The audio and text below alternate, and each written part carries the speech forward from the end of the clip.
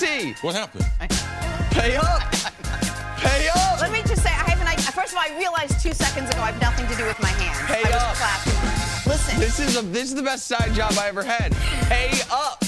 Give me my hundred dollars. dear Amazon, I'm getting a box of pens. Don't I will matter put them unless they gonna under the them to your table. leg. I'm going to put them uh, under What the show was this, Nick? table. 154. This is the last time I will ever start the show without a pen. Hundred bucks. It's two No, bucks in two days. You bet that I would Pay up. Jenna? No, he he bet on you again. He, that's why he I'm lost. the only one in the world got confidence in you. Oh Give me okay? that money. Now, That's it's costing me money $200. having confidence in This you. This is never going to happen again. This time, Okay, I even well got then- a warning from Brian, who oh, works with us, who then said, I'll go "Please broke remember." because I'm going to bet against you having the pin Monday every day morning, the rest of the year. Box of pens mm-hmm. under the desk. I'm Good morning, everybody. Well, if you're a friend of the prime show, I'm just gonna leave this out here. If y'all know Jenna, there's a good chance some of that gonna go in the next body if we keep this up. Yeah. All right, we are richer and we are poorer. Here on First Things First, and what a lovely way to start our Friday morning. TGI this day.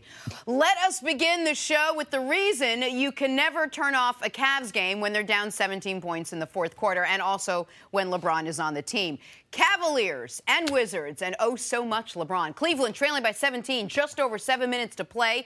On head coach Ty Lue's first night back from sick leave, LeBron said afterwards he wanted Ty Lue to get the win. So guess what LeBron did? He single-handedly did just that. He scored 13 of his 33 points in the fourth quarter. Cavs win. They've now won 10 of their last 11. After the game, LeBron James talked about his mentality in that fourth quarter. Well, you know it's time on the clock.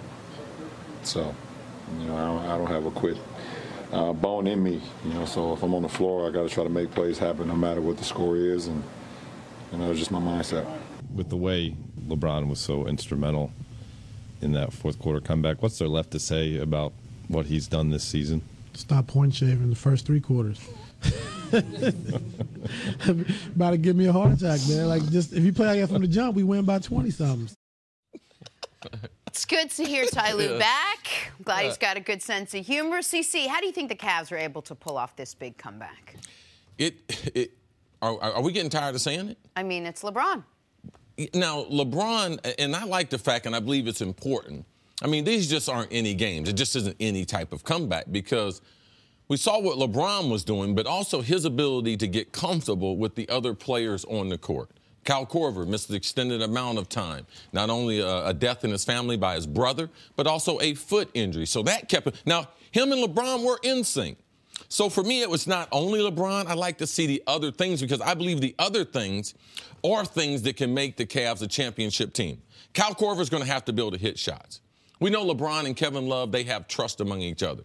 But now the emergence of of the guy that you had no confidence when the season. Jeff season. Green. Okay, so you weren't worried about the team. No, but I thought Jeff Green was a useless acquisition, and now when you look He's at been on seven different teams, right? man and CC, I'm sorry to interrupt you real quick. No. The advanced numbers tell you the Cavs are two different teams somehow with Jeff Green on the court and with Jeff Green off the court. Now he's going to be in the starting lineup for the playoffs. This was one I totally missed on. I thought Jeff Green was not going to be helpful at all.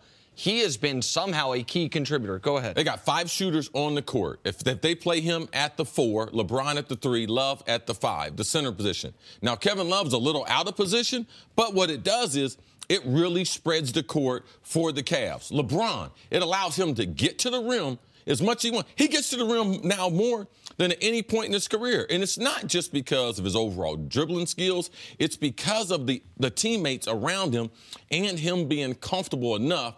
If they do collapse in the lane, he'll dish it to a Kyle Korver or someone else where they'll knock down a three. But the thing that I think is going to pay dividends is not only him being in the lineup, Green, but his ability to be able to guard some perimeter offensive players that the Cavs had problems with before. Typically, they had LeBron or JR. Those are the only two players that they could put on perimeter offensive players. Now they have Green to be able to do that. And you can see a lot like they did with LeBron when. Um, when uh, Derrick Rose was the MVP late in the game in the fourth quarter in that series, they put LeBron on him. Last night we saw them put Green on him, and I've seen this rotation. So they're doing a couple things besides LeBron James. If I could just talk about some other things, which I believe are just as important as LeBron taking over the fourth quarter, and that's the comfort level of all these guys coming back and playing together. They still haven't played a game, Nick, right? Still have not played one game with their full playoff At this roster. point, maybe they shouldn't Well, because I- they're doing real well, just kind of throwing uh, players out there. I-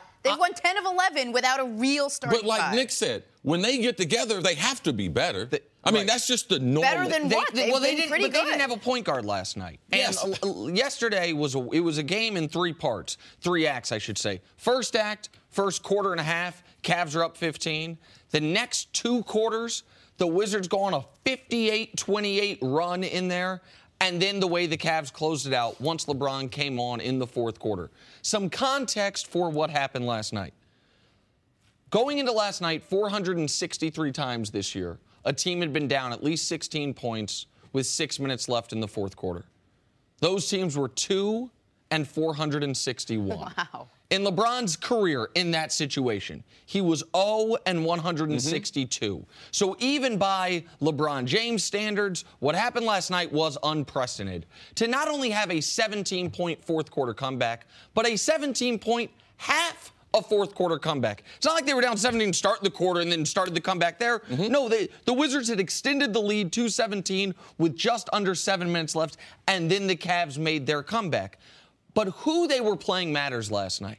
Because Michael Jordan famously created grudges, would, would find reasons to get up for these mid-season games. Mm-hmm. We have to remember who Washington is, what they said last year. Washington has never played this version of the Cavs in the playoffs. Now, last year, Washington said the Cavs were ducking us. The reason the Cavs didn't fight for the one seed is they didn't want to play us. Right. At the, in the end playoffs. of the season, the Cavs had an opportunity. They could have gone for the number one seed, but with injuries and lineup switches and everything, they decided they rested some players. They gave up the number one seed. Which Washington didn't have to say anything, but they added to Right. the rivalry. And by the way, Washington could have guaranteed the Cavs have to play them by just winning their own playoff series. But they don't win their own playoff series. They chirp. They were scared of us. They didn't want to see us. How did LeBron play the first time they played Washington this year? Oh, he had 57 points. And then yesterday, we're not losing this game. Period point blank. Now, they mm-hmm. could have lost the game. They needed everything to go their way at the end. But once LeBron was inserted in that game, and he either scored or assisted on eight of their final nine baskets, where he was running point forward, controlling the entirety of the court, and then at the end of the game, guarding John Wall. By the way, you talked about the Jeff Green being able to guard these guys throughout Yes. games. Seven times this year, LeBron has guarded an opposing player in a one possession game in the final minute. In those seven possessions, the opposing team has scored a combined zero points. So that's a bit of a defensive closer you have mm-hmm. when you need to have it. But this also, this game was important. We found out yesterday Kyrie Irving is done for the year. Therefore, the difference between the three seed and the four seed is you get a hobbled Celtics team if they get there in round two, or you get a Raptors team that is going to have the best year in franchise history in round two. If they had lost this game, we'd wake up this morning and they're the four seed. That was an important win, and you- we now go down the list. They snatched Toronto's soul twice in the last couple weeks. Washington, give me that. You saw Scott Brooks having, I mean, uh, an emotional meltdown on the sideline as he saw it happening. I mean, th- you said, CC, these Cavs players who are new need to see Yes. LeBron do this to guys. yes. And see what them happens. be a part of it. yep. Chris Mannix yesterday brought up a good point, just that when you look at this team offensively, they're playing great, but defensively, they, they have a few questions. They gave up almost 90 points in the last three quarters. Are you worried at all about that, even though you talked about defensive closure? Does that bother you at all, just that they're, they do give up a ton of points? Uh, it doesn't bother me as much is because I've seen them shift gears in the playoffs. I know the style of basketball in the playoffs is different. And it's not as if there's some powerhouse offensive team juggernauts they're going to be playing against. You have more time to prepare, you have more time in practice, you understand the sets of the other team better, and Cleveland's the only team that I've seen do it. Toronto, we've seen what happened to them. Forget the first 65 games of the season. Let's just go to the last two weeks. They have no confidence going against Cleveland. We saw what Washington, the news out of uh, out of Boston with Kyrie. They're they're one of the best defensive teams, but they can't score in the fourth quarter. So, yeah, we're not a great defensive team, but it's not like we're going against the, the 85 Lakers or something out here, like Showtime. So I think they run in con- together. Okay. But also, I've seen the Cavs make that switch and play good defense in the playoffs. Listen, and they're going to have to be far better defensively in the NBA Finals. And throughout the Eastern Conference playoffs, when you insert Kevin Love as your starting center, you are saying we're going to be at a deficit defensively. Yes. We are going to try to outscore you. We're, we are removing all rim protection. Mm-hmm. We are going to try and outscore you. And that's what they, and by the way, that's why they always have a, they've had a top five offense all year long. Now, on this run, they've also had a top 20. That ain't that great, but better than 29th defense. They've had the 18th ranked defense in the league. We saw last year, I, I bring this up a lot. All star break to end of year last year, Cleveland Cavaliers, mm-hmm. 29th ranked defense in the NBA. Last year in the NBA playoffs, I think the third ranked defense in the playoffs. So they, they do, there is a switch they can flip to a degree. There is a switch, but there should be concern, Jenna, because yes, their defense that will get them through the East. But when you get to the West, you're talking about Houston and Golden State, who are both in the top 10 offensively and defensively. So, yeah, Cleveland, they might be able to get to the finals Right. with the defense they're playing now. But if they were to win a world championship, It's got to be way better. yeah, they'd have to play a lot better. All right, we'll talk about this more again, but still to come today. Dana White joins us live in studio. Got a lot to talk about with him. We're back with more. First things first. All right, this is fun. We watched this as a staff yesterday. Tiger Woods' Day One Masters is in the books. How did Tiger do? I guess it depends on who you ask. He shot a one over par, seven strokes back of the leader, Jordan Spieth. He only birdied three holes, and it was his first over par score in nearly two months. But Tiger Woods remained positive after his opening round. I felt great to be back out there again. Um, you know, I've only come up here the last couple years just to have food. Um, so it's nice to get out here and, and play and, and know that I had this golf course in front of me. Uh, it was a it was a, a day that you know the rim was kind of puffing up, changing different directions. Um, I didn't didn't play the par fives very well today. I played an even par. I played um, in a major championship again, but also the fact that I was I got myself back in this tournament. And I could have easily let it slip away, and I, got, I fought hard to get back in there, and um, now I'm right back in this championship. First of all, can I just say that comeback Tiger is far more honest, far more forgiving, far far more open, and far more. Hey, I'm a humble guy and I'm just trying to do it. I'm going to do the best I can than the old Tiger that we used to see. CC, talk to me. How should Tiger feel about his rounds? A great observation by you. He really has changed. Um, we talked about it earlier in the week. We would have never seen him play a practice round with Phil Mickelson. You know, not unless they were in the Ryder Cup and somebody was forcing them, and they were doing it just for the camera. So he is softer. He is more real. Um, he's enjoying being in the tournament, but he realized though he could have been out of this tournament after today. And when he when he hits that drive on number 11 and it goes a fairway over, at that point, which led to a bogey, which really affected him, and the way it affected him was the par three, number 12. He hits a nine iron into the water. Now he said that the wind came up. It fooled him. It puffed. He didn't he didn't make solid contact with it. So that ball goes into the water. So he has to take one of the most dangerous drops, penalty strokes at Augusta. That's where Jordan Spieth began to crumble on number 12 because you're below. It's the lowest point on the course. And where you have to drop the ball, you have to hit the ball up on the green, and the green is a very, very small and narrow green. So he was able to get it on the fringe and make a bogey compared to making a five, six, or seven, what we've seen people make. And then he comes back, he sprays his drive on 13, but somehow he salvages a par on the par five.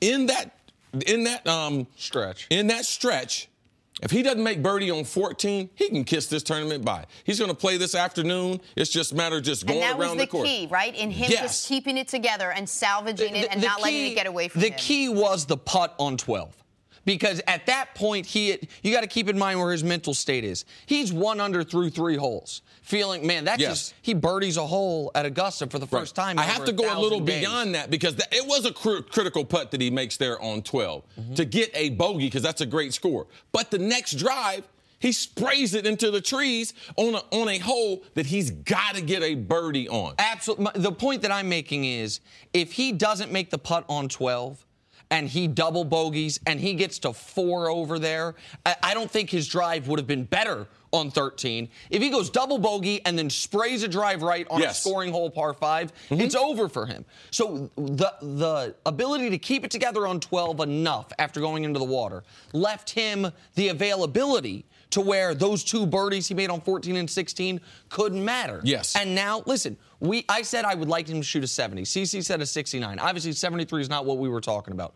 The last major champion, the last Masters champion to win the Masters, tied for 29th or worse after one round, which is where he is now, was Tiger in 2005 when he actually shot a 74 on day one.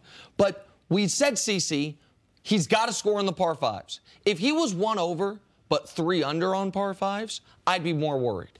The fact that he was one mm-hmm. over, but even on the par fives, gives me a little more optimism for today, and the fact that he was able to salvage his round. Have you just have you changed your outlook on what you think he can or will do this tournament just based on what you saw yesterday? You did come out yesterday and say Tiger tends, tends to be a little nervous and he gets a little cold on the first day. Was that just jitters, or do you think there's something else? Part of it's playing in? jitters, but playing the course in the morning, the temperature was not as warm as it was in the afternoon. Basically, 15 degrees different. The ball's going to fly further. That's why you saw guys at the end of the day scoring on that golf course. Now, Tiger's going to have the same opportunity. Now, does the weather, is the weather consistent? Because as Nick and I talked before, when you get in these majors, you can get a bad window of weather. Now, the sun was out but it's only 48 degrees. So it's totally different than his afternoon tee time. Is the weather the same where the course is more gettable in the afternoon? The biggest problem is not only Tiger trying to manage getting enough birdies, man, we got the world's best players playing. I told you someone would shoot five under with Jordan Spieth. He went six under. So you can't get too far behind because we know on the back nine, yes, you can score. People can shoot a potential 29 or 30 on the back. But man, the best players are playing their best golf, and there are too many good players between Tiger and the lead in Jordan Spieth. So Tiger's got to be able to cut that down. You can't wait to typical Saturday moving day. Got to go shoot a 67 or better today. He's got to he's got to play one of his best rounds of golf this season today. Tees off this morning. This afternoon. Awesome. Coming up, got that right. Conor McGregor is in police custody after yesterday's tirade. UFC President Dana White is here to discuss. That's still ahead here on First Things First. You know, if these two guys, my co-anchors, were Seinfeld fans, I'd remind them of the great Even Steven episode. You know, lose 20 bucks, find 20 bucks. Patriots love that episode. Lose a wide receiver, pick up a wide receiver. It's Mm, just that easy. You, I got, got you see where I'm going now? Man, I got that. You got to Okay, give me a little warning I though, because gave I'm you not big warning. on the. Uh, what's his name? I- What's his name? CC? Seinfeld. Oh, okay. There you go. Jerry Seinfeld. All right, on Wednesday, they said goodbye to Brandin Cooks. On Thursday, they said hello to Jordan Matthews. New England signed Matthews to a one year deal yesterday. He struggled in Buffalo last season, only catching 25 balls and battling injuries all year. All right, CC. Seinfeld aside, how much will Matthews be able to replace the productivity that Brandin Cooks gave this Patriots team last year? Well, it's going to be hard to just replace the productivity with a guy who who is not necessarily an outside receiver. I mean, who is Jordan Matthews? He can play outside because he's got some height. Not a real speed receiver. I believe he's a possession receiver, and I and I and I take that as as a possession receiver. I don't I don't take that as a slight. It's what their skill set is. Brandin Cook, one of the fastest wide receivers that we've seen in the NFL as far as a starter. All right? You cannot replace the threat that he has on that offense. So now it makes me think he's a lot like when they acquired Chris Hogan two years ago. Now he'll be playing with the best quarterback in his career. Started his career in Philadelphia and then went on over to Buffalo. Not um, uh, didn't have the productivity there in Buffalo. That's how he ends up in New England. But them also signed him to a one-year deal. If he doesn't do well in the offseason, doesn't do well in training camp, they could cut him.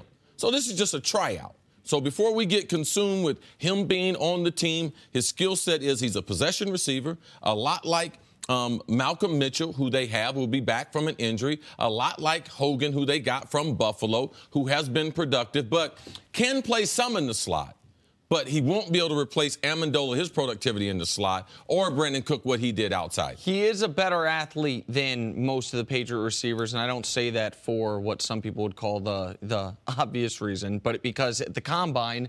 He, he was a stud at the combine. Yes. Had more bench press reps than any Yes. wide receiver. We're in a sub 4.540. Had a 36 inch vertical. His measurables were really good at the combine. That's really, I'm be honest. I know that about him. I know a few. I remember the trade last offseason when Buffalo got off Sammy Watkins. They then bring in Jordan Matthews. But you've you've known Jordan since Yes. before he was in the NFL.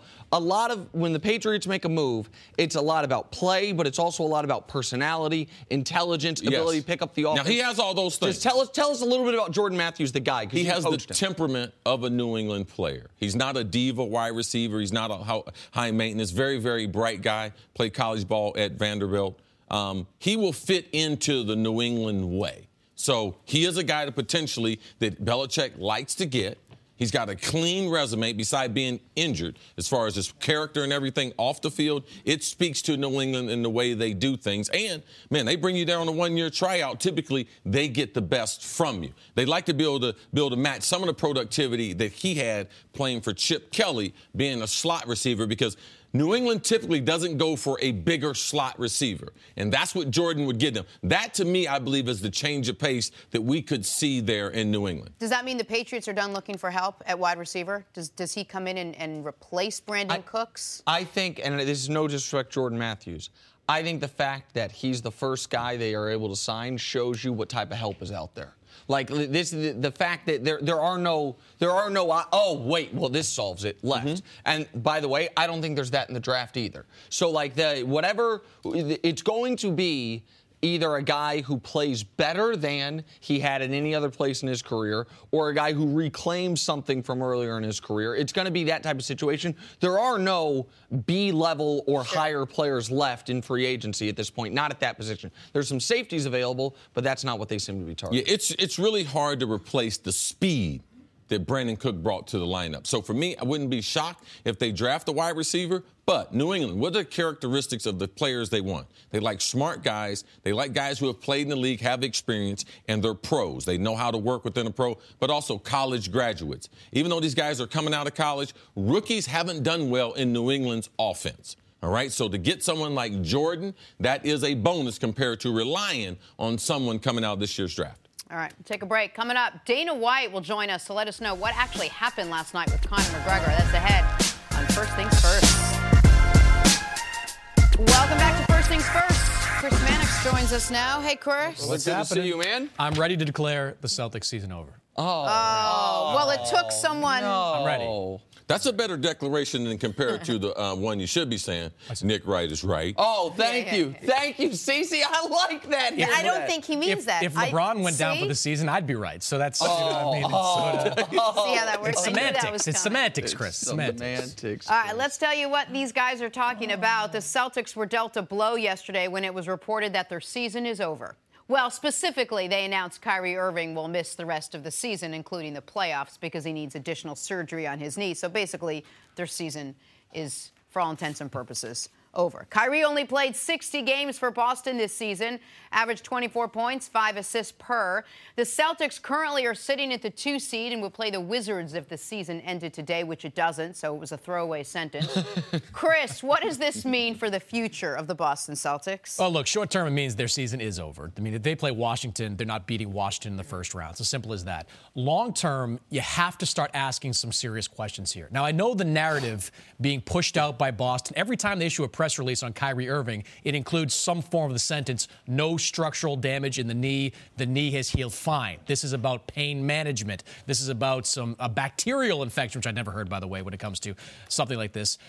Great. Could Kyrie Irving come back, be fine next season? Yes. The recovery time puts it right around August. But this is his second major knee surgery in the last three years. And Chris, you played the game, man. I don't care how minor some of them are. When you go into that knee, when you're yanking out screws, when you're cutting uh, wires in there, that's serious. So until Kyrie shows he can play 70 plus games in a full playoff after all this has happened, I, you have to have to ask questions. If there were people in Cleveland that were disappointed that they got Isaiah Thomas because he was damaged goods. That's why they went back and got compensation after the trade.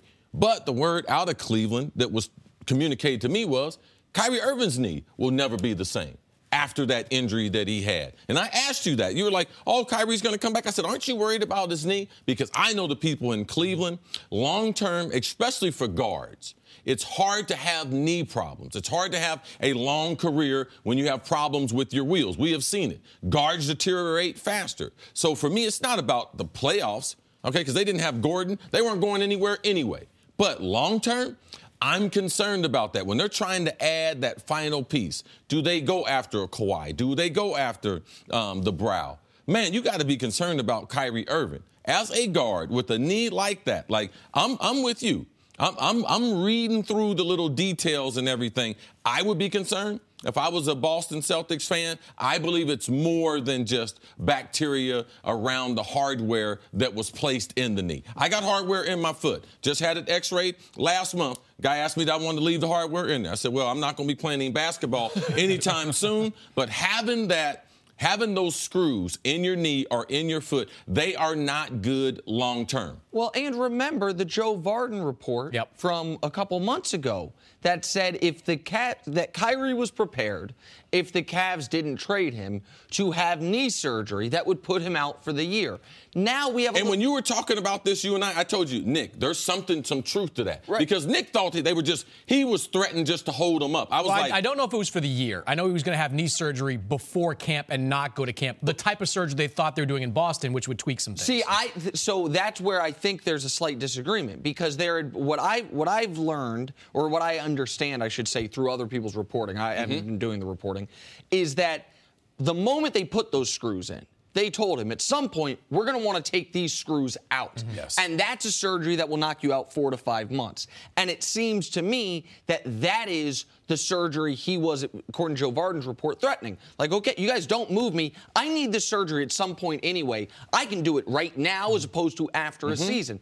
So the the upside, the bright side, if you will, if there is one, is he probably needed the surgery at some point anyway. Had he waited until after the season, that delays the rehab Yes. further into next season. So that mm-hmm. part of it's good. But the the the negative part, or the, there's obvious negative parts, but the the procedural part of this is we're seeing, like I, I say it all the time, there's a reason teams don't go to four straight finals. There's a reason teams, it is hard to play that many 100 game seasons, mm-hmm. that many years in a row. That intense. S- guess what? Steph, he's having injury problems this year. Kyrie having injury problems this year. Kevin Love, not necessarily, I mean, he broke his hand, but he also had, I don't want to call them emotional problems, but he had his own issues dealing with stress and things like this. Like, we have seen guys, it, there is no precedent for what the Cavs and the Warriors have been doing. And for Kyrie, listen, people think I don't like Kyrie. all I the hope guys Kyrie's that, healthy. All the guys that have been in those three series, for the most part, have been hurt. Mm-hmm. You go to Steph, Clay,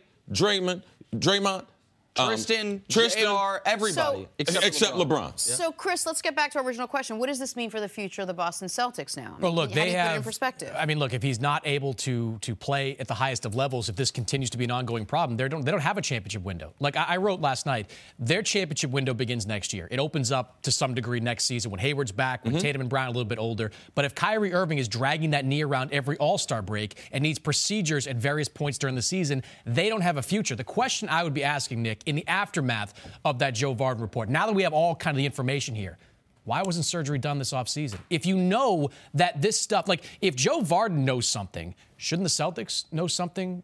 Shouldn't they have this information? If you believe, like you said, Chris, that these screws are coming out, mm-hmm. that this wire needs to be cut, why not do it in August as soon as you get him, and then you get him back on the floor December, January? Fair questions I think need to be asked. Absolutely. All right, we got to take a break now. Chris, we'll see you a little bit later in the show. Coming up, Dana White joins us to discuss all the chaos surrounding Conor McGregor. That's in three minutes, right here on. I ain't got my fighting clothes on. They better not start throwing stuff, Dana. Welcome back to First Things First. We're now joined by UFC President Dana. Dana White. Dana, thanks for Good to stopping see you, by. Thanks Thank for having you. me. You had a pretty show, bro. uneventful night, so we appreciate you just coming over and hanging out with us this Oh morning. man. No, it's a pleasure. Uh, let's talk about it. Some crazy events. Brooklyn's tough, isn't it? At UFC 223 Media Day yesterday, Conor McGregor and members of his team showed up unexpectedly and threw multiple objects, including a guardrail, at a bus full of UFC fighters. Conor was charged with three counts of assault, one count of criminal mischief. Three fights off the pay per view card were canceled as a result. So let's bring it out here. And Dana, I ask you, what have you learned after everything and the dust settled yesterday? What, what did you find out? Well, it was a, it- was obviously a weird situation. All the fight, the thing was over, and the fighters were all getting on the buses and leaving, leaving the Yeah. arena and going back to the hotel. And uh, these guys had people on the inside who opened doors for them, um, who were there covering the event for his company, and um, and came and attacked the buses. And you know, when you see that that dolly go through the window. Mike Chiesa, one of the fighters, is sitting right there. So the glass and I believe the dolly hit him, you know, and, and uh, he was bleeding. And, and uh, then one of the other guys, Ray Borg, glass went in his eyes and actually cut his eyeballs. Yeah. And so he was off the card. So just right there, that's four people. And then Artem was with Conor uh, in doing this. And, uh, you know, Conor turned himself in last night to police. Um, they, uh, they, they, they had a warrant for his arrest, or were working on a warrant for his arrest. I don't know if what, what actually ended up happening, but they did ground his plane. They, they grabbed his passport. They did. So that he couldn't, you know, tagged his passport or how, however it is they do it. And, uh, you know, it was either wait for the police to catch him or him to turn himself. Dana, now when we first saw this, first saw the report, uh, as sports fans, uh, initially, not, not alarming, but is is this staged? Is this real? Now, much respect to you, Dana. Now you've been involved in a lot of different things from a promotional standpoint, and very, very successful at it. We've never seen anything like this. Right. Where does this sit with you? Last night. this is the fight business, and leading up the week of a fight, there's tension and animosity. Guys are cutting weight. Um, they're angry. You know, these type of things happen. Guys will say things, push, shove, grab each other. These things have happened. Slap. People have slapped each other. People have done this. We can deal with all that stuff. When you bring in, you know, 20 hoodlums, they flew in from Ireland to basically do this um, at our event. It's uh, like I said, there's nothing like this that has ever happened. Conor as well flew in from He Ireland. flew them in. He's the one. flew them all in on a Yeah. private jet. They all flew in to do this. So, so here's so is this? Do you have any idea? Is this out of anger about the the scuffle at the hotel? Is this because he's? Yes. ma- It's not about being stripped of his belt. No, no, no. It has nothing to do with him being stripped. This was So what? Tell people. Artem, happened. Some context. Artem Lobov, who is on the uh, undercard, is a very, very close friend of Conor McGregor. And uh, he got into an altercation Mm-hmm. with Habib Nurmagomedov and his team. So when Conor found out about it, he loaded up a plane full of guys from Ireland, flew over here, and you know coordinated this this attack on the buses. And and obviously, there's multiple problems with doing something like this. But the biggest problem, in, in, in my opinion, both of these buses are full of a ton of fighters and they're cornermen, and they're just throwing things into the windows with with not caring who they hit. They hit Mike Chiesa. Mike Chiesa has nothing to do with this. You know what I mean? Rose Namajunas was right there. She has nothing to do with this. And many of the other fighters and cornermen have nothing to do with this situation. And they didn't care. They attacked them all. Have you spoken to Conor? Do you plan to speak to Conor? Have you spoken to his people? Where are you with that? Conor and I talked through text yesterday. Um, probably the obviously the worst conversation we've ever had. Um, but yeah, w- w- we talked yesterday before he turned himself Wait, in. worst conversation. Yeah, it was What do you mean that he didn't understand what had happened? No, I, I don't believe he did. Or the Uh, severity it's not of that what it's not that I don't think he understood what happened. It just he justified it. He had it, it was justified to him that uh, you know. Listen, I'm sorry about Mike, and I'm sorry about Rose and whoever else might have whatever, but this had to be done. So the, when you say this, his issue was with Habib, right? Right. He he is in one of the only industries in the world where if you have an issue with someone, you not only are you allowed to punch them in the face Right. repeatedly, you You're can make millions of dollars to That's punch them in the face repeatedly. Like, so I, I I'm not asking you to get in his head, but it, it, like, why why was there the inability, in your opinion, to just say, okay, now I have real animosity towards a guy, and by the way, you didn't want to strip him of his belt, you'd rather him be Right. fighting anyway. Yes. Let's just make. I, I can maybe show up. I can be in the crowd. I can get the, get the buzz started, and then set up a fight. Like, w- why not that route, the logical route? Yeah, uh, that you're you're you're asking the same questions that I'm asking, and that's what I said yesterday. If you have a problem with somebody in this business, we can handle it. You can literally fight them and and do whatever you know within the, the rules yeah. of, of fighting. You, you can you can do that, and um, that's absolutely what should have been done. You're talking about one of the biggest superstars globally in all of sports, and um, it, it doesn't get any worse than this. Does he have a future with you? I don't. I don't. I honestly sitting here right now. People keep asking me, "You're going to fire him? You're going to fire him?" This is way bigger than "Are you going to fire a guy?" This. This is. Uh, this is criminal. This is uh, other fighters. W- You know, we're, some of our staff. One of our staff. Uh, one of our security Mm-hmm. Broke his guys. knuckles? Yeah, broken knuckle. Um, was punched repeatedly by guys. You know, th- th- these type of. we have the whole footage. We have the footage from the cameras that were shooting uh, UFC embedded, cameras from inside and outside, and the uh, the arenas. So so we, we literally have everything. Dana, I want to go back to something you said. You're, you're the seemingly the only person that's spoken to Conor since this has happened. You said he justified it. Did, did he explain anything to you that you didn't know before or that surprised you at all as to why he did this or why he doesn't think what he did was was so awful? Nothing. Really? Nothing. Uh, uh, Obviously, we didn't have a good conversation yesterday, and it wasn't really about. Um, wasn't really about the situation. He felt that my interview on on uh, ESPN yesterday and uh, MMA junkie, you Yeah. did something with that. Yeah, and, and the Las Vegas Review Journal were all there when I after this thing, and and uh, he wasn't happy with my interview and, and some of the things that I said, and uh, so we got into it more about that than him really. You know, they feel like these guys attacked his friend, and this needed to be done. When you go ahead, Cece. No, I- m- m- obviously, the message you weren't able to get that to Conor McGregor, but Nick, myself, Jenna, we're fans of UFC. We're a fan of Dana White. What kind of message do you have to us and other people here in the New York tri-state area? You have a big event tomorrow night. Yeah. What's the message to us as consumers of your product? Yeah, listen, uh, unfortunately, these things happen in all sports. I mean, uh, there's been huge fights that have spilled out into the crowd in NBA and, um, you know, soccer, and the list goes on and on. And they obviously caught us at a moment when, first of all, everybody's gone. The fighters are the last to leave. Everybody's getting on the bus. And if you watch the video, the long video, which I'm sure will be out soon, uh, the security staff that we did have there stopped them from throwing bike racks, uh, garbage cans. The list goes on and on. The dolly and a, and a chair, I think, hit the bus. The dolly went through the window, but they did, the, the, the limited security staff that was there did a fantastic job. And you know, 15 years, almost 20 years of me doing this, and 25 years of the UFC, nothing like this has ever happened. Right. You know, not in the crowd, not anywhere. What What do you think? And listen, I promise you, we're going to talk about the actual event that's happening, but uh, because I know that's that's the original reason you came here. It's a huge event tomorrow, even though some of the fights now aren't going to be Yeah, able to go on. that you were scheduled to come. regardless of this, and Yes, it's it's right. great of you to to come anyway. But there's, do you was the was the objective to get Abib off the bus? And if that happens, No, no, no.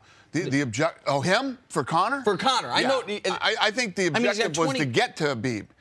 Our objective was to keep everybody on the bus and diffuse this Mm-hmm. thing. Um, and like I said, our limited security staff that was there, three or four guys. Hell of a job by them. job. I mean, because it's, it's not just, it's Conor and I would assume a lot of other trained professional fighters. Right, Like, so. I- but but you're talking about trained professional fighters that are in a completely different state of mind. These guys are cutting weight. The weigh-ins are today. So these guys are right in the middle of weight cut. You know, they're tired. They have to get back and, and, and keep working on cutting the weight. Um, completely different state of mind this group of fighters that were on that bus. I just want to follow up one thing you said. You said Conor wasn't happy with, with something. It was some of the things you said in the interview. I would imagine one of those is you said you're like, listen, I don't know if he was on drugs. I don't know. 100. percent Yeah, that that was a big, That's what that he was a big upset one, about. Yeah, Yeah. But but when you see the guy run in and do what he did, what do you want me to think? What do you want me to think? This this is completely irrational behavior. Um, you're, you're, you're, you're a professional athlete. You make millions of dollars a year, and uh, you're one of the biggest superstars on planet Earth. He- millions because of you, though. Yeah, m- million- did he forget that? Millions because of both of us. He is a very talented guy. I have done my job, obviously. Uh, he has done his. Do we know have Conor done this. McGregor without Dana White? No. Okay? Let's Thank stop that Well, mess. thank you. All right. Dana, what what options do you have right now? What are the choices and decisions you have to make over the course of the next 24, 48 hours Obviously, with we're, regards to this? we're focused right now on the event, Okay. Mhm. security, and all these things as, as far as the event goes right now. Get this event behind me. Obviously, my whole crew is out here now from Vegas, lawyers and everybody else. We were on conference calls all night last night, and once this thing's over, we get back to, to Vegas and, and, and figure out what's next. I wonder if he realizes how much trouble he's in. Trouble's seemingly a mundane word, but ha- how severe this is. I agree with you. I, I agree. I, I, yesterday, I don't think he did. Today, I think he's in jail right now. He might, and uh, you know, not just the legal stuff that's uh, that's going on, uh, you know, criminal stuff that he's Yeah. being The charged civil with, part of it. the civil lawsuits that's that are coming next. Yeah. I mean, against for I mean for anyone and everyone. Listen, I'm not going to pretend to be a lawyer on television, but I would imagine the UFC has a claim. Barclays might have a claim. Half dozen fighters. Everyone on the card, yeah, even sure. people not mm-hmm. injured. Security? Like, security. The I mean, there's there's a lot of people. And by the way, sometimes you sue a guy that you know has no money. Sometimes you sue a guy that you know has a ton of money. Right. And those results are different. So, all right. So listen, what's left of the lineup, and then we can talk about the main event. Like you mentioned. Yeah, the- well, I mean, the main event is still intact. The co-main event is still intact, and most of the other fights that that you know, the big fight, uh, you know, it, it, it bummed us out losing Chiesa versus uh, Pettis. It, it was a good fight. Um, we'll, we'll make it up to those guys and put them on a card here soon. But the main event, co-main event, and many of the other fights that people want to see are still on. So what should people, if people don't know Habib, if they don't know Max Holloway, what should we, what should they be looking for? Well, Max Holloway is the 145 pound champion. He hasn't lost in five years. Uh, you know, the, the, the guy has the, the most finishes in, in the 145 pound division history up against Habib, who is undefeated, 25 and 0, who many people feel uh, is the best fighter in the world right now. And uh, Max Holloway is a stud, stepped up and took this fight on six days' notice because this, this started on Sunday for us, this. Uh, Right. This nutty week that we're having. Uh, you know, our, our guy Tony Ferguson got hurt, was doing PR and tripped over one of the wires and Oh. tore his uh, LCL off the bone doing PR. Ah. So. People who think PR isn't dangerous, uh, Tony. you Tony thought the UFC was wrong. dangerous. What- what Public about- relations is the worst. Tell me about the co-main event. What's that? Tell us Co-main. Oh, the co-main event is Rose Namajunas versus uh, Joanna Jędrzejczyk. Jędrzejczyk's only loss is to Namajunas, and uh, the first fight was incredible. It was at Madison Square Garden. This is the rematch. Uh, uh, Ro- I mean, uh, Joanna was on her way to break Ronda Rousey's uh, streak for title defenses, and Rose came and and, and, uh, and, and ruined that for her. Is Rose doing okay? She walked back to the hotel, right? She's she wasn't physically injured, right? But she no. was, but she So- was shaken so by everything. Apparently, the bus was backing up, and when this thing came through, she was right there. And uh, I don't know. I guess glass just exploded into the into the van, and all of it went right by her face. And you know, again, these these fighters are cutting weight. They're in a real But she's different state of fight. mind. Yeah, she was shaken up. She was upset. She left and walked back to the hotel when everybody told her not to, and uh, I went and sat with her, and I think she's good. Danny, you've got a lot on your plate. We really appreciate the time today, both with the event coming up, plus everything you're gonna, the fallout from everything you're gonna have to deal with. But you've been wonderful talking to us, and you helped explain a lot. So we thank you so much for. Thanks being for having me. Thank Good luck so with much. everything. And the prelims are on FS1. Yes, So people can check all that out before We're the take a break. Then Be you right know how we do More it. I need things two first after this. on the camera side. so when they paying the fighters, I'm right there. You know how we do business. Three, Dana. I got it overexcited. Yeah, you did. Uh, there's a reason the Cavs are never out of a game in which LeBron James plays. He's that good. Last night was proof. Cleveland trailing 17 to the Wizards with just over seven to play. on head coach Ty Lue's first night back from sick leave. LeBron said he wanted Ty Lue to get the win, so guess what? Oh, he just went out and got Ty Lue the win. Scored 13 of his 33 in the fourth. Cavs winners of 10 of 11. Here's LeBron after the game on his mentality in that fourth quarter. Well, you know it's time on the clock. So, you know, I don't, I don't have a quit uh, bone in me. You know, so if I'm on the floor, I got to try to make plays happen no matter what the score is, and you know, it's just my mindset. With the way LeBron was so instrumental in that fourth quarter comeback, what's there left to say about what he's done this season?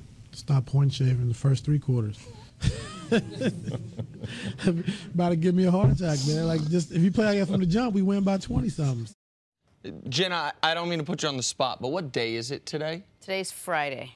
Hmm, why does that? Ma- oh, Chris Mannix said, "Talk to me Friday." Didn't care that the Cavs beat down the Raptors. Talk to me Friday after they play Washington. Well, it's Friday. To be specific, I said, "Wake me up" after they beat the Wizards, and, and I got about a dozen texts late last, or tweets late last night from people saying, "Are you awake? Are you Are awake you awake? Are you awake? I'm awake. All I get yes. it. Your, But th- your look- thoughts on what you saw? Okay. Le- there's nothing more you can say about LeBron James. He- he's offensively, this is the best season of his career. Mm-hmm. He's playing brilliant basketball. How he was able to pull their fat out of the fire in the fourth quarter last night, it was nothing short of remarkable. And the mental edge that LeBron has on so many of these teams, Yes. it's something to watch because Washington It's real. has he's they've been blitzed by LeBron going back to like Gilbert Arenas days. Um, Toronto, you know, we know their history with LeBron. That mental edge is going to be huge for them. But I don't know how you can watch that game and declare it a wrap and declare like, oh, the Cavs are are a lock to go to the finals. What was the third? What were the third quarter numbers? What was it, like 36 to? to Oh, it was something? brutal in the third quarter. I know that at one point Washington was on a 58-28 Right, run. Right. And, and look, 58-28 It was run. it was absurd.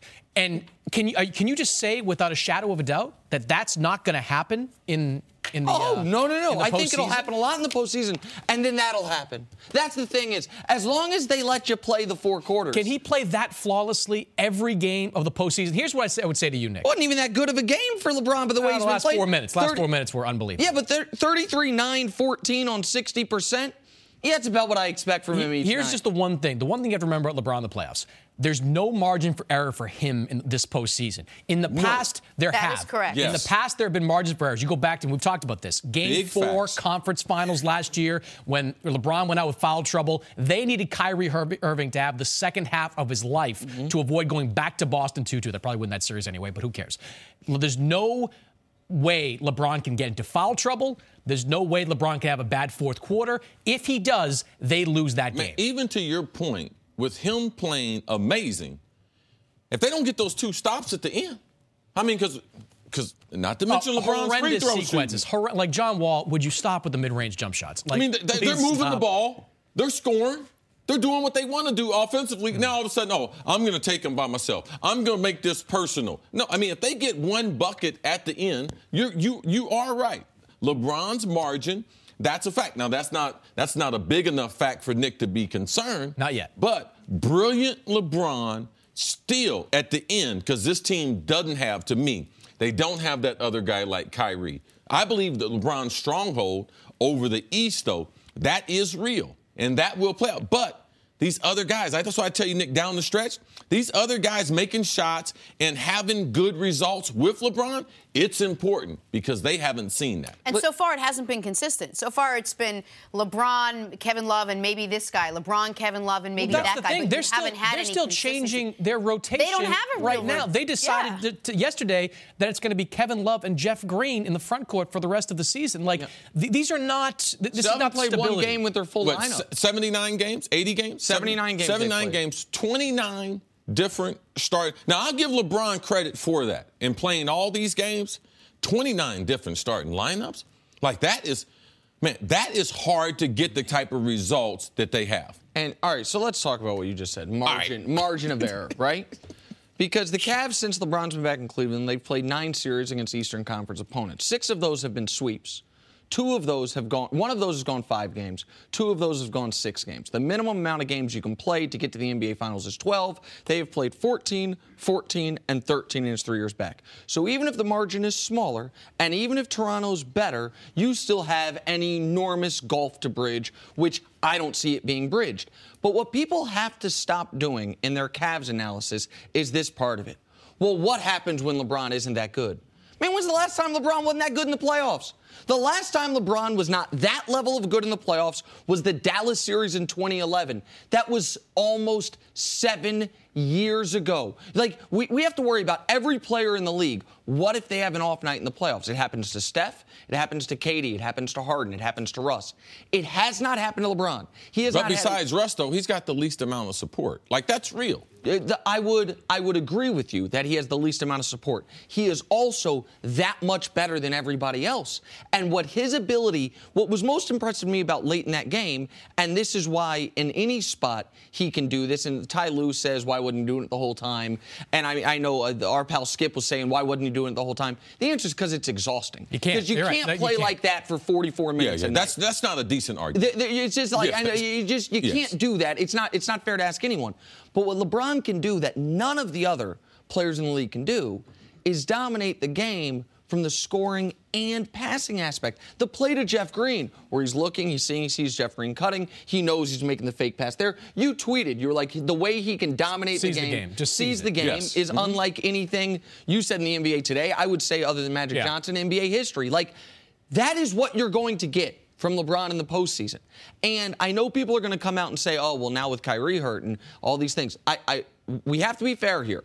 The big team all year long that people were saying would challenge Cleveland was Toronto. Mm-hmm. Yeah, of course. Toronto is fully healthy. Yes. So, like, people. But it wasn't just Toronto what they were doing. It's the overall lack of continuity and everything that was going on in Cleveland. Mm-hmm. So it's just not, oh, Toronto's going to be. It's also what the smoke that was coming out of Cleveland. That's that, that's it. Like two things you said there. One, the, the numbers from the last three years since LeBron's been back in Cleveland are utterly meaningless right now.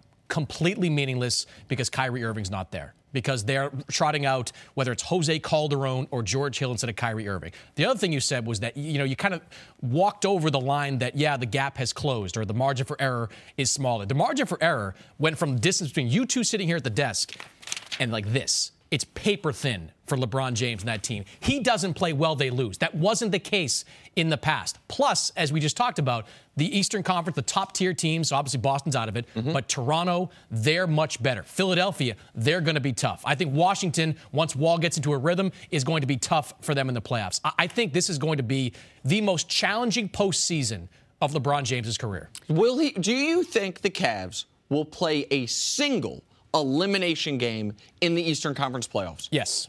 Wow. Yes. Okay. It might not be more than one. It might not be more than one, but I think they play one. Look, and that's not a knock on them. People take the, me saying the Cavs suck, but it's not. No. Look, the Warriors did. The Warriors played one just two no, years no, ago. your, like, your they're going to analysis play. of the Cavs is true. They're not as good as they were. This season, LeBron struggled more than any other season in Cleveland. That's just that, those are things that we saw in in 79 games. Yeah. It's not like we just pulled that out of a hat. You know what we've also seen in 79 games? They're going to win the same amount or more games than they did last year with Kyrie. My my projection, biggest game of the season for the Toronto Raptors is going to be Game One of the conference finals against Cleveland. If they Toronto go better far- get there. It's right. No, but Toronto better get there. But Toronto, they need to get. They need to take a lead on the Cavs. Think they can't lost keep 10 playing from behind. game ones? They exactly. They can't keep playing from behind. Not against Cleveland. Big, uh, big game for Great Cleveland brother. tonight. They're Thank taking you. on the Sixers. Should be Yep. a fun one. Wake me after that one.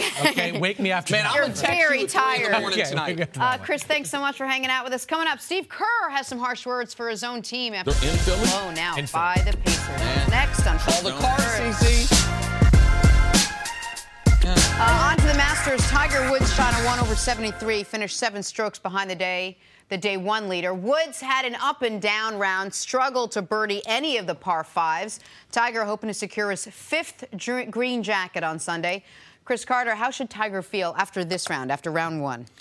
I know mentally he's glad he's back on tour. He's glad he's back at Augusta competing. He's also glad that a little past midway through the round, hole number 11 when he hits that drive off to the right um, that we're watching now that he was able to salvage those next 30 minutes because he went on to make bogey there then he went on to hit the ball in the water on the par 3 number 12 because he talked about it in his interview he's glad he didn't let the round go this could have been a Yeah. 76 77 because Augusta yesterday with the wind and being inconsistent Tiger felt like he's glad that he didn't get shoot himself out of the tournament. He still got a chance. Today is a huge day for him. Though. Last time he won the Masters, he shot a 74 in round one. Yes. We were hoping he would shoot around a 70. He obviously wasn't able to do that, but Cece's right. When he hit the ball in the water, then it's a very tough, Cece educated me on this, it's a very tough drop because of the elevation change.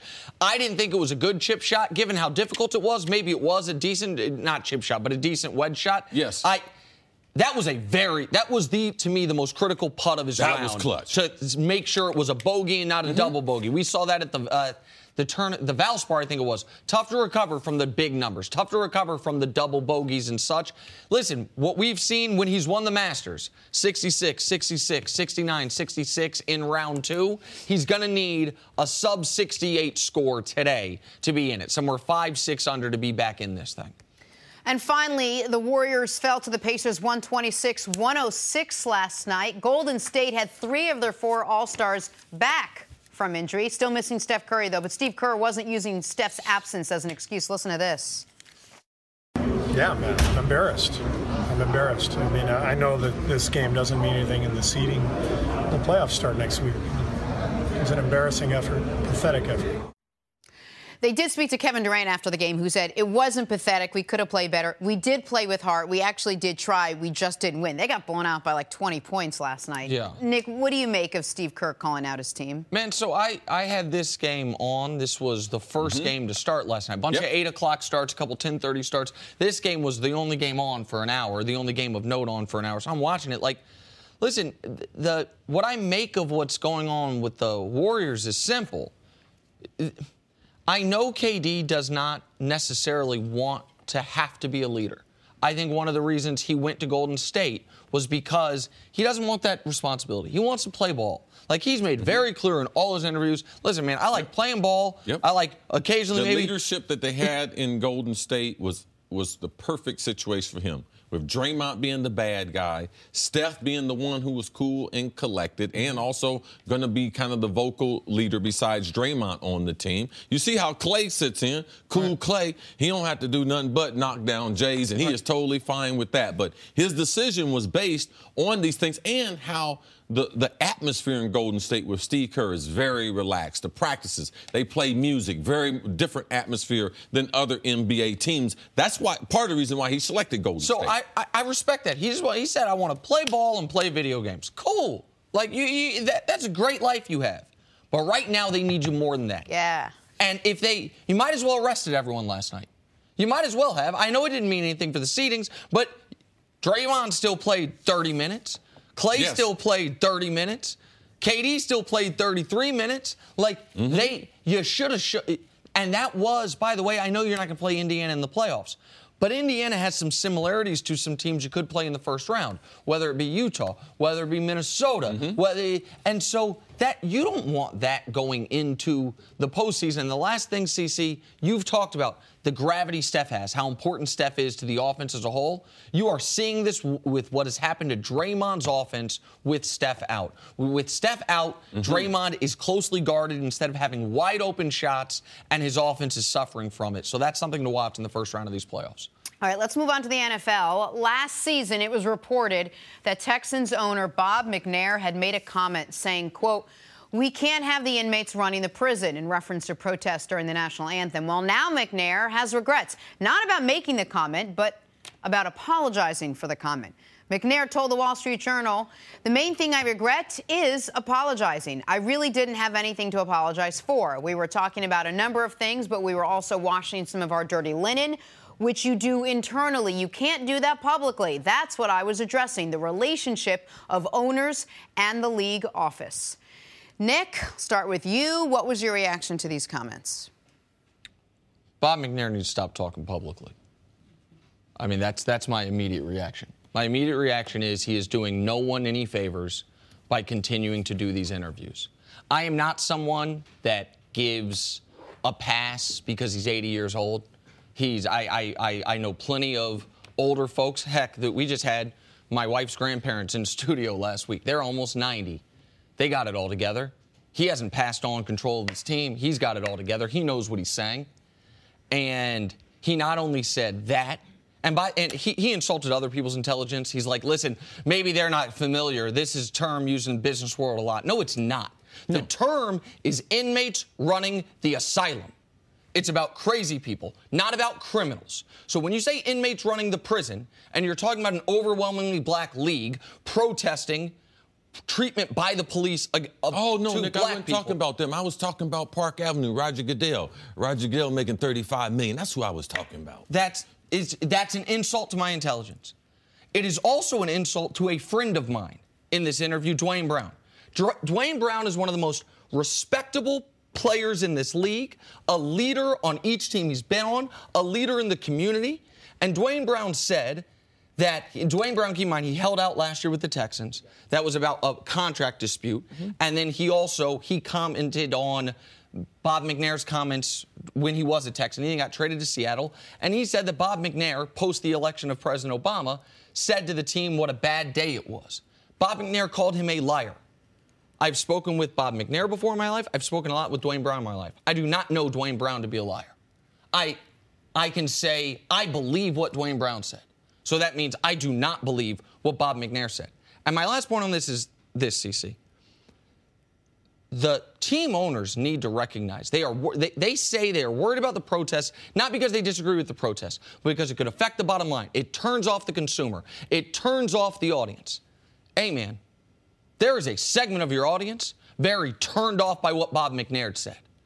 There are people that that kneel in solidarity with the Texans, or even if they don't, they they they believe in the player's right to do so. And hearing these types of eh, these types of, in my eyes, indefensible comments makes whether it be players less likely to want to sign there, fans less likely to want to go to the games, or people less likely to want to watch the games. That's all a real thing. All the things you're saying the kneeling is doing, these comments are doing. Um, Bob McNair, to, to add to that, Bob McNair supported Jerry Richardson for the things that he did and said, the workplace problems, the environment that he created there in Carolina. Bob McNair said, "Oh, oh, you know, he he he didn't really mean that." So you can't depend on Bob McNair. It, it, it's really disappointing because I, I just think that Houston fans and the players should take note. This is who your owner is. All right? This is who he is. This is what he stands for, and this is what he's about. Now, when he came into the National Football League, he didn't have no finance plan. He asked them how much it was. It was $550 million. He brought out his checkbook, didn't have an entourage of people with him in the ownership meeting, filled out the check, and slid it across. Now, that don't make him no genius. That just makes him rich. And to me, it just makes him naive and rich. Because in the environment that we're in, he had an opportunity. He could have level set everything. Yeah, those comments right there, even though they used to be comments that I used to use, I realize right now how offensive they are. But he really doesn't see that. This is who he is. Houston Texans. This is who your, this is who your owner is. Fans, this is who your owner is. The players that play for the Texans, or anyone ever might, might want to play for the Texans. This is the guy who owns your team. Don't think he's going to change. And the reason why he's not, why he's not going to change is because it's hard for rich people to change. All right? It's hard for them, and you could see that in his comment. And there's one other comment he made, which I think, even if people don't like the inmates running the prison comment, they might have read in the Wall Street Journal interview and say, oh, he makes a good point. Which was, he was like, we don't let employees express their political views when they're at work. And he used the example someone goes to McDonald's, the McDonald's would never let their employee hand them the burger and be like, you shouldn't eat meat. Or add some political opinion. Why do you have that Hillary bumper sticker or Trump bumper sticker, whatever it is? What he is, I, I believe, smart enough to know why that does not hold in his workplace. And sometimes you have to remind the fans professional football, the players and the owners, have a collectively bargained agreement. That is not the regular workplace you work in unless you work mm-hmm. in an environment with a collectively bargained agreement. Neither side can set any rules or parameters that are outside of the collectively bargained agreement. So unless you have agreed what the players must do in that agreement regards to the anthem, regards to kneeling, regards to anything that you deem a political protest rather than a social justice protest, you need to collectively bargain it. Go back to the table and talk to DeMaurice Smith. Talk to union leadership. Until then, man, this is your bed you've made. You lie in it. And like, and I don't know, I used to live in Houston. I, some of my closest friends are day one PSL holders. I know what Bob McNair had meant to that city. He brought football back to Houston. I mean, Houston doesn't need this uh, representing them. Houston, the people of Houston are too good of people to have this guy talking on behalf of the city because he doesn't. All right, take a break. More first things first after this. Welcome back to First Things First. We welcome in Chris Canty to the show. Good hey, morning, Chris. Jenna. How you are doing? you? I'm, I'm doing good. great. Had a good night. I'm having a good morning. How was your night? And then subsequently, how was your Uh, morning? my night was a little rough. My Yankees took the L last night against the Orioles. Wasn't a great outing for us. Mm-hmm. Bullpen let us down again. Come on, Chad Green. Come on, Chad Green. we need better. Bullpen letting you down could be. I'm sorry. The, starting, on- the bullpen should be good. thing. The starting The- rotation. The could be an bullpen has not been theme. good. It's supposed to be the best That's bullpen saying. in the major be good, leagues. right. Their, their ERA is 6.65. There you go. That's a problem. You know, you know what that Wow. sounds That's like. a problem. That sounds like a man that hosts a New York City radio show. Oh yeah, That's you know, right. you know, you know, base, you know. Hey, That's listen, you know, baseball moves the needle in New York They are this time. of year. passionate New Yorkers about their baseball. All right, let's move on to the other sport Chris Canty is passionate about the Giants in the NFL.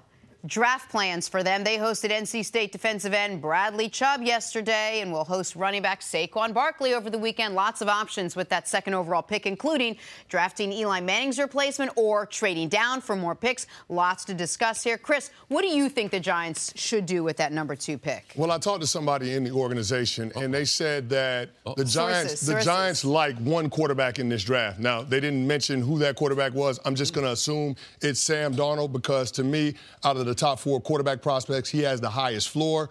But if the Giants don't have their guy sitting there at two, then I can understand them deciding to trade down with somebody like Buffalo and acquire picks or one of those other teams that's trying to move up to get one of those other three quarterbacks that would be left on the board.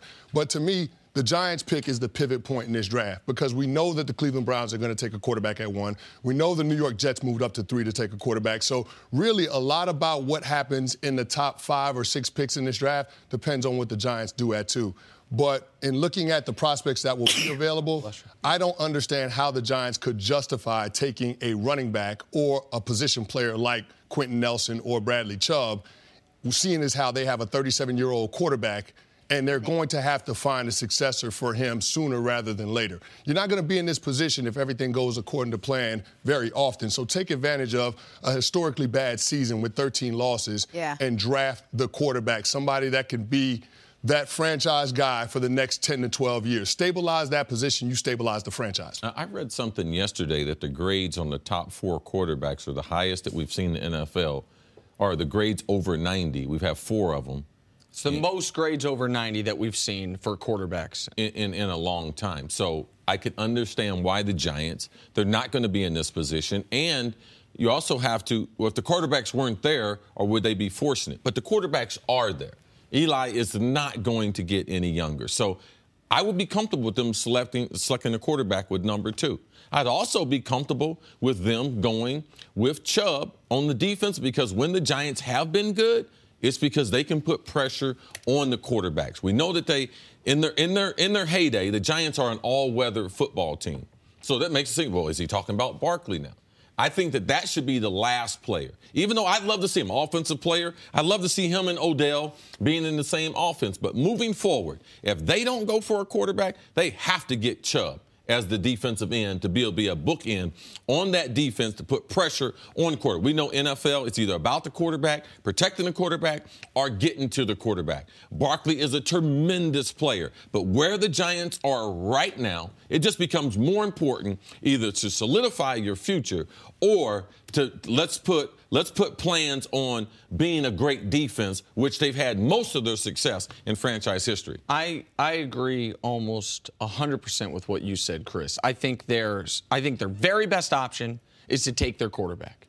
I think the next best option is to trade back, get a bunch of picks. I think you and I, will lay out exactly what I think they could get if they do trade back. Mm-hmm. I think their worst option potentially is to take best position player available because, in my eyes, to get the value there, it has to be what Dave Gettleman said. Go get a Hall of Famer. If you're going to take a non quarterback at number two, he has to be demonstrably better than the next best player at his position, demonstrably better than some of these other guys that are going to go nine or 12 or 15. Mm-hmm. And so I listen, you guys know I like Josh Rosen. I understand why they would like Sam Darnold. I'm not going to sit here and say this is the quarterback they have to take. I think they should take a quarterback. But if they don't want to, if they want with this new regime to be as competitive as possible this year, people talk about, well, they could get 12 and 22 from Buffalo for number 2 they will get more than that. Mm-hmm. Like it, we've seen when a team moves up from, think about what Chicago gave up just to move from three to two. If you're moving up from 12 to two, you're going to have to give up more than just the 22nd pick. You're probably going to have to either give up your high first, second rounder this year or your first rounder next year.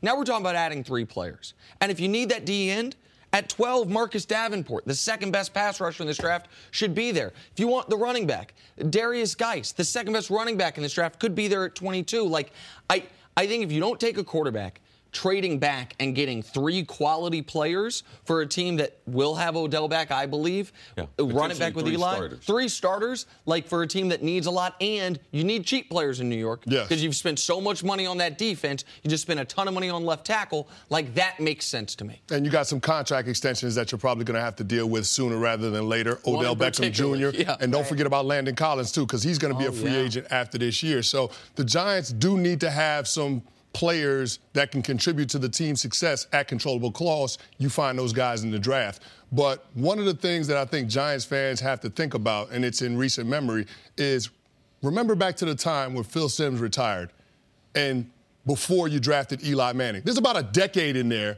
where the Giants weren't very good. And they had the likes of Danny Kanell and Kent Graham and Dave Brown and Kerry Collins Man, Danny starting Kanell that was good. The Giants start, starting that quarterback. so I mean that, that, tell the story. that, that- that's exactly. You know what I'm saying exactly. But, but, but exactly. There are people that are Yeah, concerned. let's not forget. Yeah, exactly. There are people in mm. that building that are concerned about who's going to be our face for the foreseeable future after Eli Manning. You don't have that in house. So when you heard John Mara talking about he would like to see a succession plan like they had in Green Bay, the handoff from Brett Favre to Aaron Rodgers, or what you saw with the 49ers, the handoff from Montana to Steve Young, when he's talking like that, it makes me think that the Giants have a conviction on a quarterback and they want to go with a quarterback at number two. What the all the stuff we've heard is how highly rated what you just said these four, five, four quarterbacks are. How good they are. They're all different, but they're all very good. Where they fit, we don't really know. We don't 100% know what the what the exact look of the Giants' offense is going to be. So how locked in do you think they would just be at Sam Darnold? And if they had their choice of the other three because he was gone, would they maybe shift things a little bit so that they could at least guarantee themselves a quarterback? Let's say hypothetically Cleveland takes Josh Allen. What do you think the Giants would do then? Draft Sam Donald?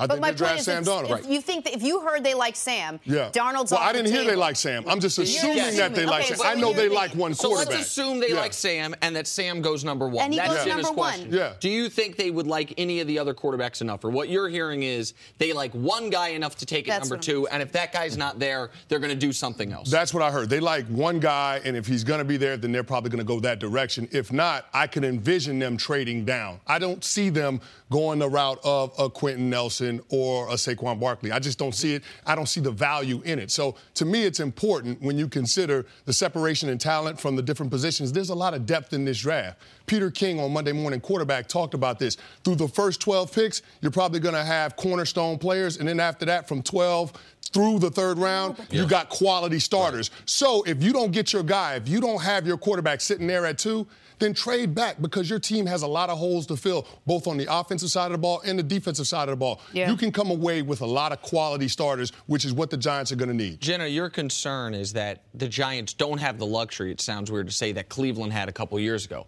which is saying we can pass on a quarterback this year. We know we're going to be Right. ba- drafting high again next year. Right. We can do it again. We know we're going to have a top five pick again It's next year. It's not like it's a different position. You're talking about the quarterback the position. Giants and the Giants hope and believe the defense is going to be better. They got a better head coach, and that they're not going to be drafted in the top ten anytime soon. That's the mm-hmm. that's your concern if they Correct. don't take a quarterback. It, it makes sense.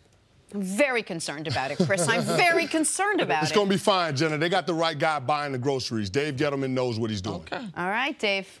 What he said. Chris, stick around. Coming up, have the Patriots found the missing piece to their offense? That's next on First Things First. Back here on First Things First with Chris Canty. On Wednesday, the Patriots said goodbye to Brandin Cooks. On Thursday, they said hello to Jordan Matthews. They didn't say it like that. New England signed Matthews to a one-year. Deal. Hello, Jordan. That's funny, Jenna. Belichick. That they was his voice. yeah, right, uh, Jordan. To a one-year deal yesterday. He struggled in Buffalo last season, only catching 25 balls and dealing with injuries all year. So, Chris Canty, how much will Matthews be able to replace the productivity of Brandin Cooks? Well, they brought him in to be an option, a part of a collective effort to try to replace the production that Cooks brought to the table. I don't think one player is going to do it because, Full, yeah, yeah, Jordan Matthews hasn't been that guy. Even though he's been a productive receiver, if you look at his first three years in Philadelphia, Philly. 225 catches, 2,600 yards, 19 touchdowns. Like, he's a guy that can play ball, but he's typically a slot receiver. That's where he's had most of his success mm-hmm. in the NFL. Now, he's a bigger slot receiver. He's 6'3", 210, so he's one of those bigger guys, but it'd be interesting to see how the Patriots deploy him along with Chris Hogan and Julian Edelman, depending on who's going to be the slot guy and who the two outside receivers are going to be. Now, it's not like we haven't seen the Patriots bring in big slot receivers and put those guys on the outside because Chris Hogan was a slot guy in Buffalo. Yep. They put him outside. They had Brandon LaFell before that. Oh, yeah. He was a slot guy in Carolina. They put him outside. So it just depends on what they want to do in terms of utilizing the pieces that they have. But regardless of how they do it, we know it's going to look different because there is not going to be that one guy that's the dedicated speed threat outside of. Uh, Brandin Cook, the uh, opposite Outs- outside, of outside what they had in out- Brandin Cooks. right, yeah, yeah. They don't have that speed guy. So it's going to look different how they're going to manufacture yards. Unless I- they're not done. No, no, they're definitely not done. They're not done. There's no Yeah. way they go to the 2018 season with the wide receiving core that they have because they still have tremendous question marks. Their best wide receiver in um, Edelman, he'll be coming back from a knee surgery. One of their other dependable receivers who missed m- most of this year, Malcolm Mitchell, he's been a contributor there. And him and, and Jordan are kind of like the same receivers, almost the same type of build. Jordan might be a little bit different. What becomes very important here is Josh McDaniels. What is Josh going to do with this talent? Is he going to play Jordan in the slot? Because they play him in the slot opposite of Gronk. Because one option with Gronk is to get another tight end or get another big receiver. So now they love to run those seam routes. Brady's far more accurate in throwing to a bigger body down the seams than those smaller guys. But I don't see Jordan replacing the yards after the catch. All right. I see him being a very dependable veteran wide receiver, gets along with in, in the Patriot locker room. Tom Brady likes him. He's dependable. But I mean, they need some bona fide playmakers. And I know they've done it with less. Mm-hmm. But ultimately, I mean, Tom's got how many seasons left? The more talent you have, Nick, the better off you're tops. going to be. Yeah. He literally cannot have more than 15 in him. yeah, time is quick. Right? I, I Time do one. want the audience, though, to understand this. It is not a lock Jordan Matthews is on the team week one. Oh, absolutely. Like that is that is given the contract he signed, the amount of money, and the lack of guaranteed money. This is the Bill Barnwell I thought put it really well on Twitter. It, this we will either look back on this as one of the guys the Patriots bring in and cut, or a guy it's like, wow, what a value they got. Like what a bargain. Another ex- instance of the Patriots finding treasure where Not another signing team a said- bad contract. Exactly right. So, but I do have this level of concern as far as why he was available. Buffalo is obviously trying to draft a franchise quarterback, right?